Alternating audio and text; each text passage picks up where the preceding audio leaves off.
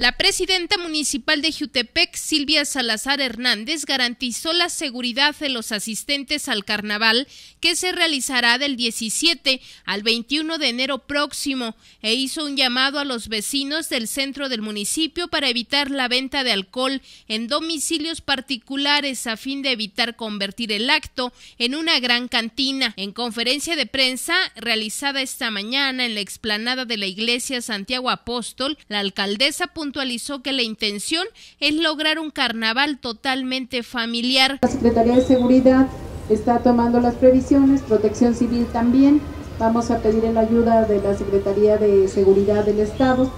Eh, ojalá hubiera condiciones también para que eh, el destacamento que tenemos aquí, si tiene condiciones, nos pueda ayudar. Siempre en un evento público de todo tipo hay ciertos riesgos. Vamos a cuidar al máximo somos una administración con personal que, hay en todas las áreas, de manera que en esta ocasión vamos a pedir a todas las áreas que colaboren. Todos somos parte de este gobierno y todos tendremos que poner un granito de arena para cuidar y evitar que se genere alguna situación de,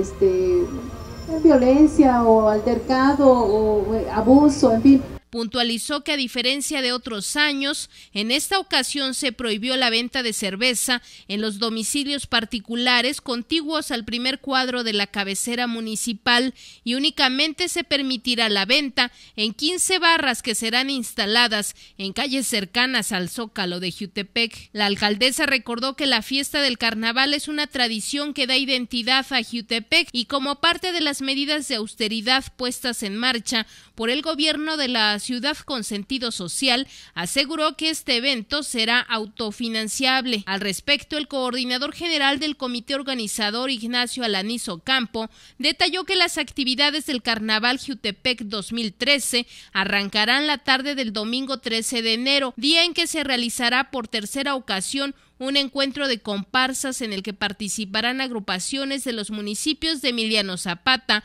Tlayacapan, Cuautla, entre otros. Posteriormente, la noche del jueves 17 de enero, a partir de las 19 horas en la explanada del Zócalo Municipal, a través de un espectáculo de humor se presentará por espacio de tres horas el Super Show de las Viudas. El viernes 18 de enero, la presidenta municipal Silvia Salazar Hernández dará el banderazo oficial para el inicio de cuatro días del tradicional brinco del chinelo. El coordinador general del comité añadió que durante el fin de semana del carnaval habrá diversas actividades para los asistentes, entre las que destaca la presentación por primera vez en este municipio de un espectáculo aéreo que contará con atracciones paralelas de globos aerostáticos ultraligeros y exhibición de vehículos. Con imágenes de Víctor Márquez, Minerva Delgado, Noticieros El Regional.